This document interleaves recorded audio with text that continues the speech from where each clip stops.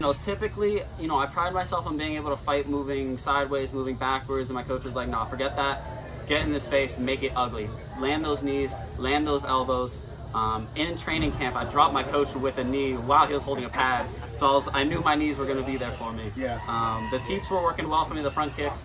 Um, I front kicked him in the face in the first round. Yeah, that was nice. Um, I really didn't think I landed it that hard, but you know he dropped. You know, there was a standing eight count, but I knew he was fine. I, I knew it wasn't anything that serious, and then just got him out of there in the fourth. Yeah, you the the teep was nice because I think that started the momentum for you, like like Mm-hmm. just.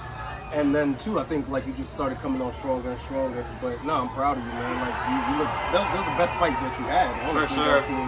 And so like you did it in the biggest moment of, of uh, Absolutely. so far. So Yeah, smallest cage, biggest stage, and you know, got these two belts now. Got a nice shiny eye, so you know, that's literally how it feel to be champ champ. Feels good, feels good. But you know, it's just another step. You know, now we just we we're collecting all the belts in Florida, all of them. So number three next. Yup. Going for number three, number four, number five. See how uh, see how far I can go with that.